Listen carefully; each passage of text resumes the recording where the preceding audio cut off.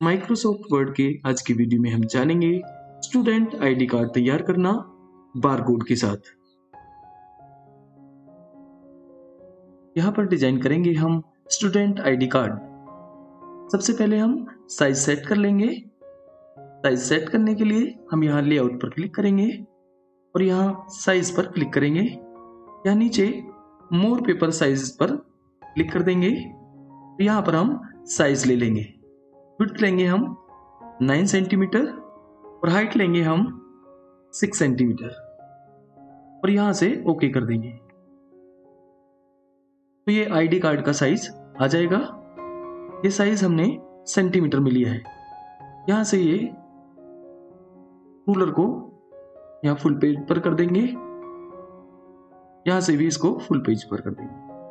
और यहाँ डिज़ाइन पर जाएँगे। और यहाँ पेज बॉर्डर पर क्लिक करेंगे। और यहाँ से ये बॉक्स पर क्लिक करेंगे। और यहाँ ये विड्थ को कस्टम करेंगे हम। यहाँ पर इसकी विड्थ लेंगे थ्री पीटी यहाँ ऑप्शंस पर क्लिक करके हम मार्जिन टॉप बॉटम और लेफ़्ट और राइट में वन पीटी कर देंगे। यहाँ भी वन करेंगे। यहाँ बॉटम में भी वन करेंगे और लेफ़्ट में भी वन और यहाँ पर भी राइट में भी वन यहाँ पर ओके करेंगे और यहाँ से ओके कर देंगे। तो आप देख सकते हैं यहाँ पर बॉर्डर का इफ़ेक्ट आ गया है। थोड़ा जूम इन कर लेंगे। जिससे थोड़ा काम करने में इजी हो। अब यहाँ इंसर्ट पर जाएँगे। शेप्स पर जाएँगे और यहाँ से ये रेक्टेंगल शेप इंसर्ट कर लेंगे। और यहाँ पर इस तरह से ड्रॉ कर लेंगे। फॉर्मेट पर जाएँगे। शेप फिल पर जाकर कलर चेंज कर देंगे। हम यहाँ ये ब्लू कलर ले रहे हैं। आप कोई अन्य कलर भी ले सकते हैं। शेप आउटलाइन पर जाएँगे और नो आउटलाइन कर देंगे। इसमें हम टाइप कर देंगे स्टूडेंट आइडेंटिटी कार्ड टेक्स्ट को सिलेक्ट करेंगे और होम पर जाकर यहाँ फॉन्ट साइज़ इंक्रीज कर देंगे और यहाँ से बोल्ड कर देंगे। फिर से इंसर्ट पर जाएँगे शेप्स पर क्लिक करेंगे और यहाँ से ये राउंडेड रेक्टेंगल शेप ले लेंगे। और यहाँ पर ड्रॉ कर लेंगे इस तरह से। साइज़ एडजस्ट कर लेंगे शेप फिल पर जाएँगे और यहाँ से नो फिल कर देंगे, या शेप आउटलाइन पर जाएँगे और यहाँ से आउटलाइन कर देंगे वन एंड हाफ़ पीटी अब हम यहाँ पर पिक्चर इंसर्ट कर लेंगे शेप फिल पर जाएँगे पिक्चर पर क्लिक करेंगे और यहाँ फ्रॉम अ फ़ाइल पर क्लिक कर देंगे और यहाँ से उस पिक्चर को सिलेक्ट कर देंगे। और इंसर्ट कर देंगे। तो आप देख सकते हैं यहाँ पर स्टूडेंट की पिक्चर इंसर्ट हो गई है। फिर से इंसर्ट पर जाएँगे शेप्स पर क्लिक करेंगे और यहाँ से ये टेक्स्ट बॉक्स इंसर्ट कर लेंगे और यहाँ पर ड्रॉ कर लेंगे इस तरह से। यहाँ पर स्टूडेंट की इंफॉर्मेशन को फिल कर लेंगे, जैसे नेम के बाद में सन ऑफ़ उसके बाद में क्लास और यहाँ पर टाइप करेंगे रोल नंबर और यहाँ पर डेट ऑफ़ बर्थ जो भी डेट ऑफ़ बर्थ है, वो यहाँ पर टाइप कर देंगे।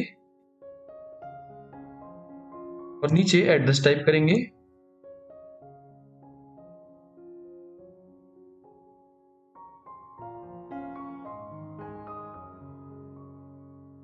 यहाँ पर मोबाइल नंबर जो भी मोबाइल नंबर है कंट्रोल ए प्रेस करके टेक्स्ट को सिलेक्ट कर लेंगे और यहाँ होम पर जाएँगे और यहाँ लाइन एंड स्पेसिंग पर क्लिक करेंगे। यहाँ से ये रिमूव स्पेस आफ्टर पैराग्राफ पर क्लिक कर देंगे। फॉन्ट साइज़ कम कर देंगे। इसको कर देंगे हम 10.5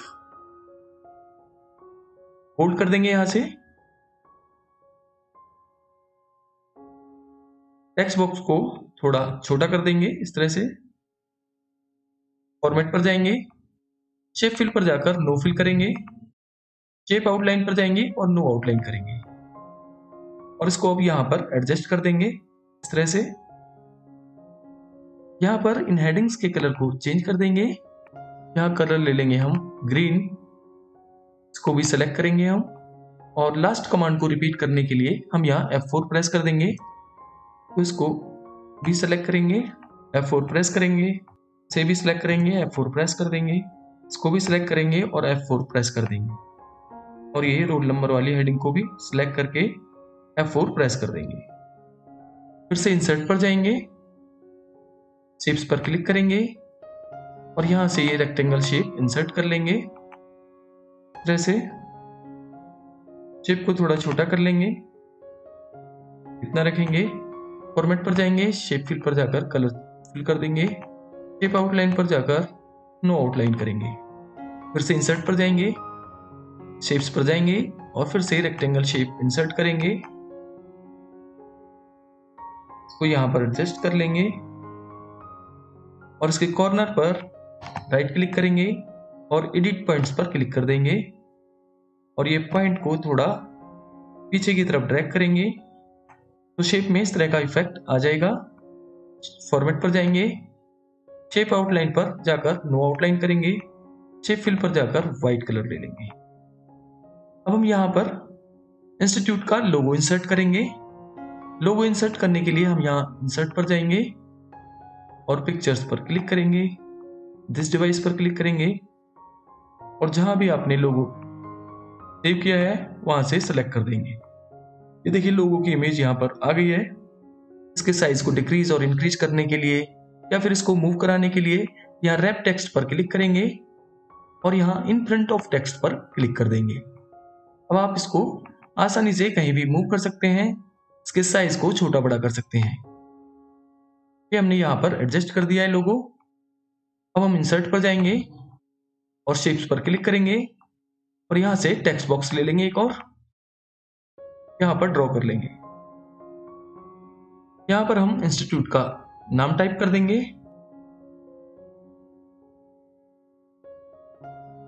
कंट्रोल ए प्रेस करके टेक्स्ट को सिलेक्ट करेंगे। होम पर जाएँगे और फॉन्ट साइज़ इंक्रीज कर देंगे और बोल्ड कर देंगे। यहाँ फॉर्मेट पर जाएँगे। शेप फिल पर जाकर नो फिल करेंगे। शेप आउटलाइन पर जाकर नो आउटलाइन करेंगे। होम पर जाएँगे और यहाँ से टेक्स्ट कलर कर देंगे व्हाइट इसको यहाँ पर एडजस्ट कर देंगे। थोड़ा फॉन्ट साइज़ कम कर लेंगे इसका। थोड़ा और कम करेंगे साइज़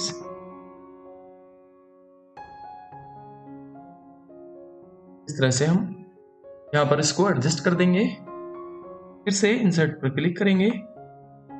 चिप्स पर क्लिक करेंगे और टेक्स्ट बॉक्स इंसर्ट कर लेंगे। यहाँ पर हम इंस्टीट्यूट का एड्रेस टाइप करेंगे।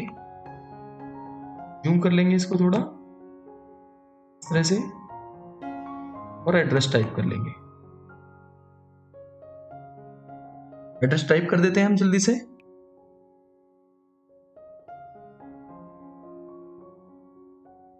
कंट्रोल ए प्रेस करके टेक्स्ट को सिलेक्ट कर लेंगे और यहाँ होम पर क्लिक करेंगे और यहाँ पर क्लिक करेंगे लाइन एंड पैराग्राफ स्पेसिंग पर।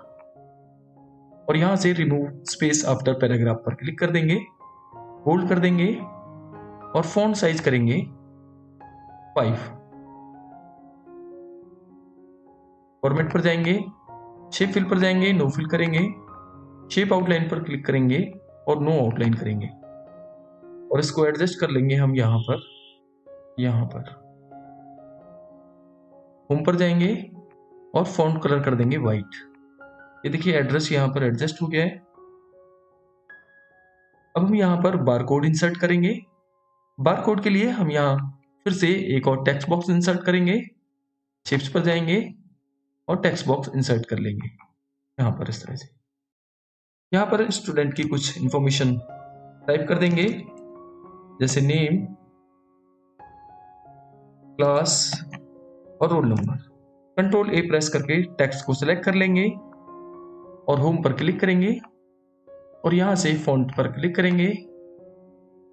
और यहाँ पर ये बार कोड थर्टी नाइन के नाम से जो फॉन्ट है, इसको सिलेक्ट कर देंगे। ये फॉन्ट अगर आपके सिस्टम में नहीं है तो वीडियो के डिस्क्रिप्शन बॉक्स में दिए गए लिंक पर क्लिक करके आप इस फॉन्ट को डाउनलोड कर सकते हैं। क्लिक करेंगे यहाँ पर। साइज़ थोड़ा कम कर लेंगे।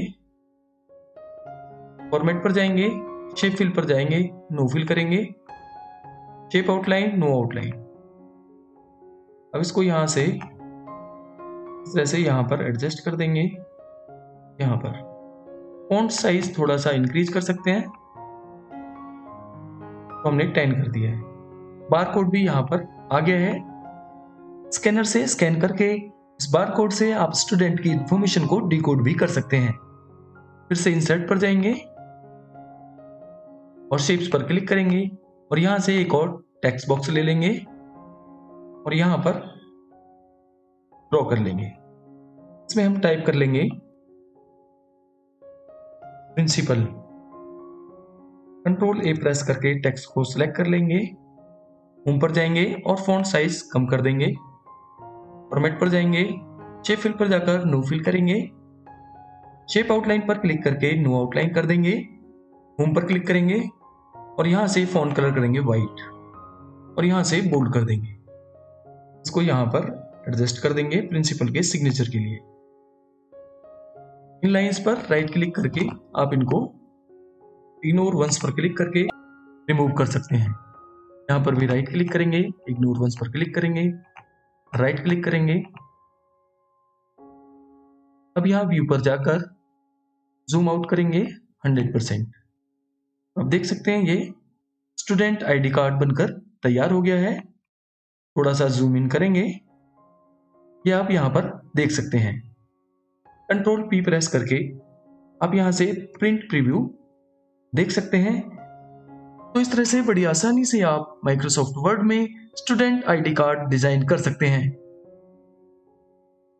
अगर आपको हमारी ये वीडियो पसंद आए तो लाइक करें, अन्य लोगों के साथ शेयर करें और सब्सक्राइब करें।